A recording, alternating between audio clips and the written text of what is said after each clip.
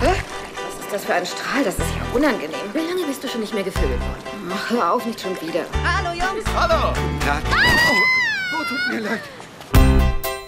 Du solltest mit diesem Jean René ins Bett gehen. Zeit für den Hausputz. Lass die Spinnweben wegfegen. Ich schlepp heute Gérard, den Cretin da. Socken in Sandalen. Das ist ja so abtörend. Egal, deine Oma hat gesagt, spießig fickt gut. Nein, dumm fickt gut.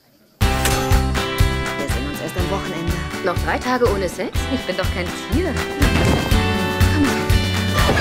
Lolo, was treibst du denn hier in meinem Bett? Eloi, mein Sohn. Jean-René, hallo. Jean-René? Echt krass, der Neue von meiner Mutter. Na gut, in ihrem Alter kann sie nicht mehr wählerisch sein. Wie findest du ihn? Ich mag seine Ohren.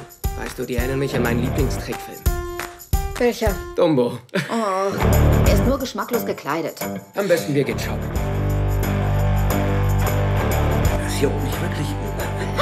Du kennst dich doch mit sexuell übertragbaren Krankheiten aus. Ja, das ist meine Spezialität. Keine Sorge, ich habe alles im Griff. Jean René!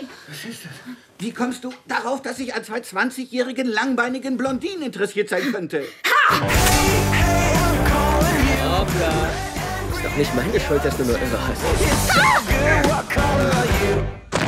endlich einen tollen Typen finden würdest, würde das dein beschissenes Leben ändern. Das ist der Deal. Ihr geht an einen sehr üblen Ort. Und tut etwas, wobei ihr drauf geht.